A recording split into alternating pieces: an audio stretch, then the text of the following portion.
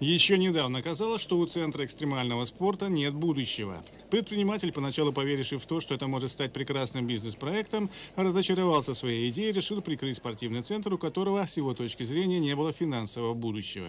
У самой Федерации э, уличных видов спорта э, средств для содержания такого э, большого комплекса не было, а предприниматель потерял заинтересованность. Естественно, что интересы молодых спортсменов и детей, которые туда ходят, отошли на второй план. А, поэтому возникла необходимость помощи со стороны города.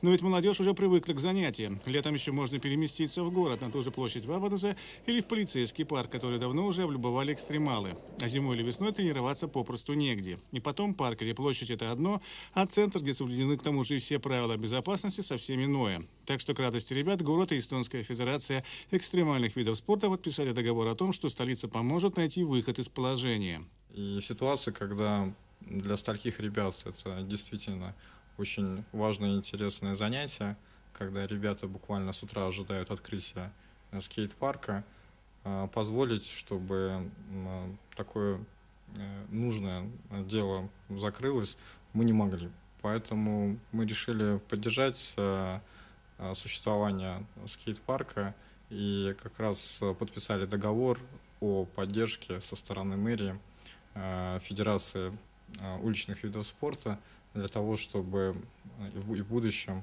э, мог существовать э, скейт-парк крупнейший в Эстонии.